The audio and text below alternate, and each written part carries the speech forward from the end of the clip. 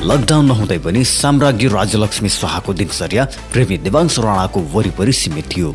सुटिङमा गइन् भने गइन् गइनन् यदि भने उनको दिन प्रेमीसँग बित्थ्यो झन् लकडाउन भएपछि त भन्नै परेन।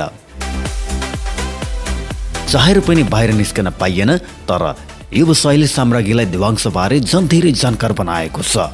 इन्स्टामा बेला बखत उनको यो जानकारी पोखिन्छ। धेरैजसो देवांशसँगको फोटो राख्ने साम्राज्ञीले केही दिन अघि भने देवांशको मात्र फोटो राख्दै लेखिन् यो मान्छे गजबको छ बाहिर अनि भित्र दुवैतिरबाट प्रेम रहुन्जेल आकाशको तारा झार्ने छुटेपछि बङ्गारा झार्ने प्रेमी प्रेमिका लक्षित आधुनिक उखानै छ। साम्राज्ञी देवांशको मामलामा पहिलो चरणमा छिन्। जे पनि राम्रो देखिने समय छ। हाम्रो कामना छ उनीहरूको प्रेम बङ्गारा झार्ने चरणमा नपुगोस्। तर इतिहास साक्षी छ। साम्राज्ञी पूर्व प्रेमी मङ्गे खड्काको पनि कम तारिफ गर्दिनथिन्। लास्टमा के भयो त्यो त सबैलाई थाहा छ। साम्राज्ञीले तारिफ गरिरहँदा त्यही पिर सबैलाई पर्ने गरेको छ।